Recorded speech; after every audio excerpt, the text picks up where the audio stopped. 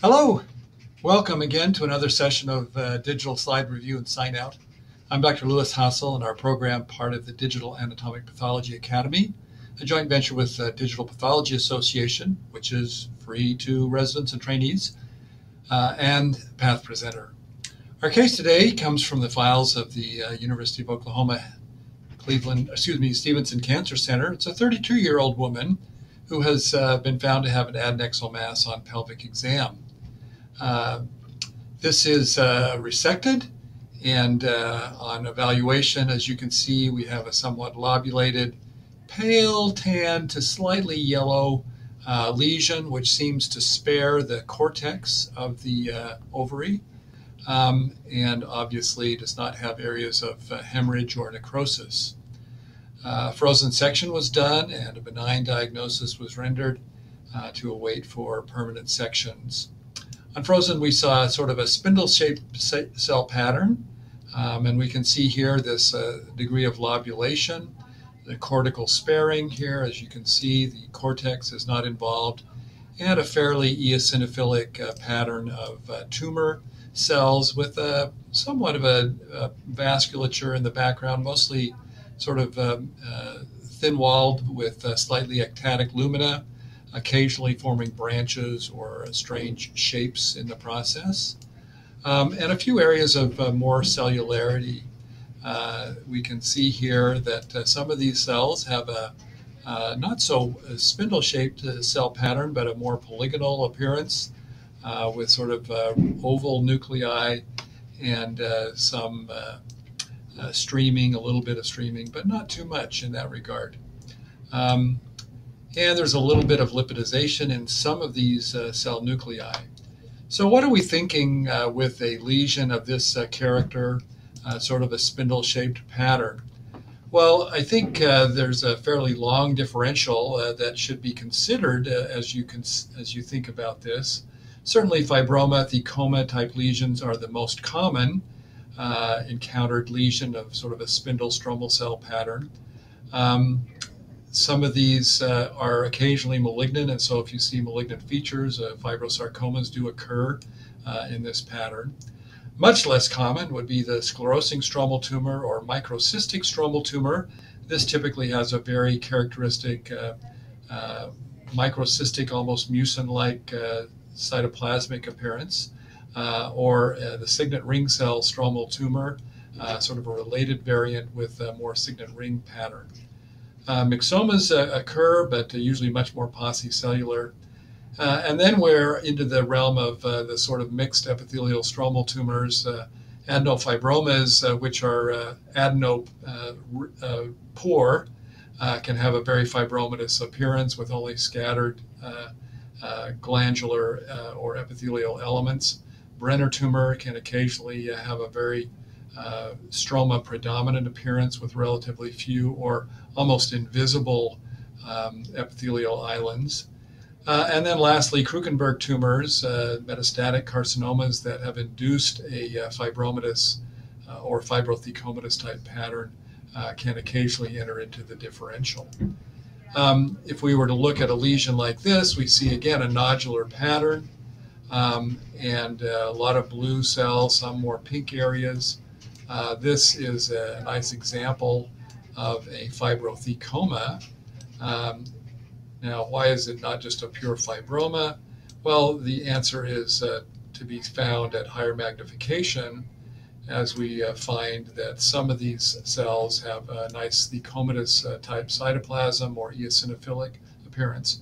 Notice, however, that the background here is sort of a wiry collagen pattern um, and that this tumor has uh, this uh, uh, sort of streaming pattern in several areas. Um, I don't think I've zeroed down on the thecomatous component uh, particularly well. We'll look a little bit further here, Let's see if we can identify that, uh, because obviously that's an important consideration, particularly if there's menstrual abnormalities.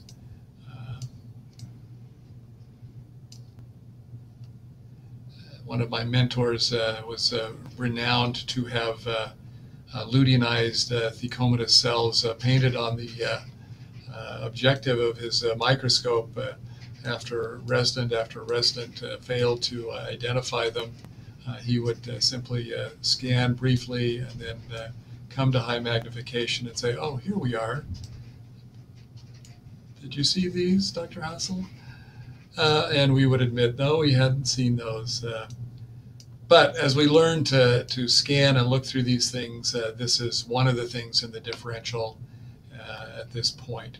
So another lesion that we've uh, mentioned, uh, maybe here more example, is just a pure luteinized stroma. And here we can see normal ovarian structures, pattern, a mixture of, of theca cells and you know, loose tissue, maybe some uh, corpora albicantia, occasional epithelial inclusion. This is not really forming a tumor, uh, but as we look here, uh, we have no difficulty identifying uh, the luteinized cells here in the stroma, these cells with uh, central round nuclei and slightly foamy cytoplasm. Sometimes it's more eosinophilic um, that uh, jump out at us at even intermediate or sometimes even low magnification. So uh, luteinized uh, thecomatous stroma, uh, in this case, uh, not a neoplasm, uh, but certainly potentially a hormonal uh, factory to cause potential menstrual abnormalities and admixed with normal ovarian structures as we see here. Another entity we mentioned in the differential is metastatic tumors. Um, and here we can again see a very diffuse pattern uh, a lot of fibromatous, fibrous type tissue, uh, a little bit of thin vasculature. Uh, but as we come into higher magnification, we can see some of this wiry, streaming collagenous tissue, but subtly admixed here are um, an additional cell type. Uh, these little cells here. Uh, and occasionally we see slightly mucinous appearing cytoplasm. So this actually is a nice example of a Krukenberg tumor uh, with uh, rare scattered um, uh, signet ring uh, cells uh, that are derived from uh, the stomach in this case, although other signet ring origin tumors can produce the same phenomenon. and it masquerades as an ovarian fibroma. Here we can see more of them but you can see if you are not cautious, these uh, could be easily overlooked at low, low magnification, uh, as you see here, because they, they don't stand out as epithelial structures amidst this otherwise uh, uh fibrous uh, background. Well, uh, our case doesn't have that. our case is actually an example of sclerosing stromal tumor, which is usually seen in the third or fourth decade. Uh, it has a sort of lobulated or pseudolobulated appearance and slightly yellowish uh, pattern. And, and, it usually will have alternating cellular and hypocellular areas with a sort of an edematous or sometimes a very collagenous uh, kind of tissue in between. Uh, the cells are not uh, highly spindled, but uh, tend to be more polygonal, and the vasculature tends to be prominent. these will be positive with the sex cord stromal markers, calretinin inhibin, and other stromal markers, although usually that's not uh, uh, critical unless you are looking to exclude uh, uh, Krukenberg or something of that uh, sort. So it's unusual to have to use immunohistochemistry in these cases. So just to review, here's our case again. Uh, we see a sort of lobulated pattern, intervening areas with, in this case, somewhat collagenized tissue, a little bit of edematous tissue, um, and uh, these nicely uh, uh, more polygonal type of uh, stromal cells, very bland nuclei, no mitotic activity, and a delicate vasculature in the background. In some cases, these can have a uh, almost hemangiopericytoma like vasculature uh, that can look, uh, even in some cases, like a vascular anomaly or abnormality. Um, so our uh, final sign out uh, for today's case is uh, sclerosing stromal tumor um, of the ovary in a 30, uh, 30-ish uh, woman. Uh, certainly will have a benign course and nothing further to work, worry about. we hope that you enjoyed that case, and if you did, please subscribe so you can catch our future releases. or comment, share other things that you think should be considered in the differential or your experience with any of these tumors.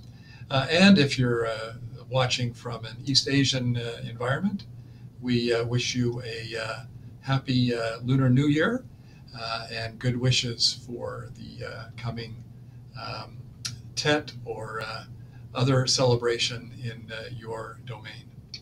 So thanks for joining us, and we hope to see you again soon.